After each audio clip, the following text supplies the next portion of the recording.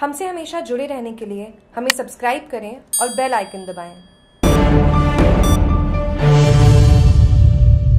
उत्तरी भारत भर में विशाल टिड्डी दलों के पहुँचने के बीच राजस्थान, पंजाब और मध्य प्रदेश जैसे प्रभावित राज्यों में नियंत्रण अभियान में तेज़ी लाई गई। सर्वेक्षण और नियंत्रण कार्यवाही का संचालन कर रहे हैं 200 टिड्डी सर्कल कार्यालय और अस्थायी शिविर। पश्चिमी और उत्तर पश्चिमी भारत भर में विशाल टिड्डी दलों के पहुँचने के बीच कृषि एवं किसान कल्याण विभाग DAC and FW Rajasthan, Punjab, Gujarat और मध्य प्रदेश जैसे प्रभावित राज्यों में टिड्डियों पर नियंत्रण पाने की कार्रवाई में तेज़ी लाए हैं। आज तक ये टिड्डी दल राजस्थान के बाड़मेर, जोधपुर नागौर, बीकानेर, गंगानगर, हनुमानगढ़, सीकर, जयपुर जिलों और मध्य प्रदेश के सतना, ग्वालियर, सीधी, राजगढ़, बैतूल, देवास, आगर, मालवा जिलों में सक्रिय है। वर्तमान में 200 टिड्डी सर्कल कार्यालय, एलसीओ प्रभावित राज्यों के जिला प्रशासन और कृषि फ़ील्ड मशीनरी के साथ तालमेल कायम करते हुए सर्वेक्षण और नियंत्रण कार्य कर रहे हैं। राज्य कृषि विभागों और स्थानीय प्रशासन के समन्वय के साथ टिड्डी नियंत्रण का कार्य ज़ीरो पर है। राज्य कृषि विभागों और स्थानीय प्रशासन के समन्वय के साथ टिड्डी नियंत्रण का कार्य जोरों पर है।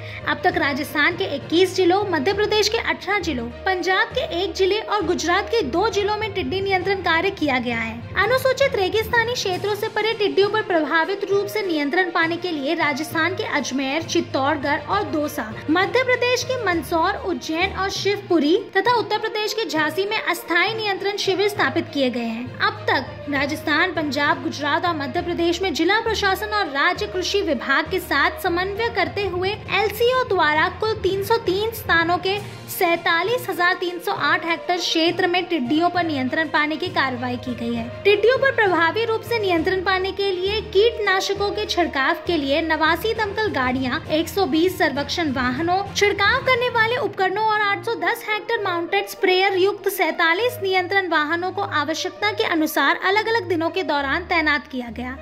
आमतौर पर टिड्डी दल पाकिस्तान के रास्ते से भारत में अनुसूचित रेगिस्तान क्षेत्र में जून, जुलाई के महीने से मानसून के आगमन के साथ ग्रीष्मकालीन प्रजनन के लिए प्रवेश करते हैं। इस वर्ष हालाँकि इन हॉपर और गुलाबी रंग की टिड्डियों का प्रवेश समय से काफ़ी पहले हो गया। जिसकी वजह पाकिस्तान में पिछले सीज़न में टिड्डियों की अवशिष्ट आबादी की उपस्थिति बताई गई है, जिन्हें वो नियंत्रित नहीं कर सका था। राजस्थान और पंजाब के सीमावर्ती जिलों में 11 अप्रैल 2020 से टिड्डी हॉपर और 30 अप्रैल 2020 से गुलाबी अप्रिक व्यस्क टिड्डियों के प्रवेश की सूचना मिल रही है, जिन्हें नियंत्रण किया जा रहा है। गुलाबी अप्रिक व्यस्क ऊँची उड़ान भरते हैं और पाकिस्तान की तरफ़ से आने वाली पश्चिमी हवाओं के साथ एक दिन में एक स्थान से दूसरे स्थान तक की लंबी दूरी तय करते हैं। इनमें से अधिकांश गुलाबी अपरिक व्यस्त रात को पेड़ों पर ठहरते हैं और ज़्यादातर दिन में उड़ान भरते हैं। जागरूक टीवी की खास रिपोर्ट।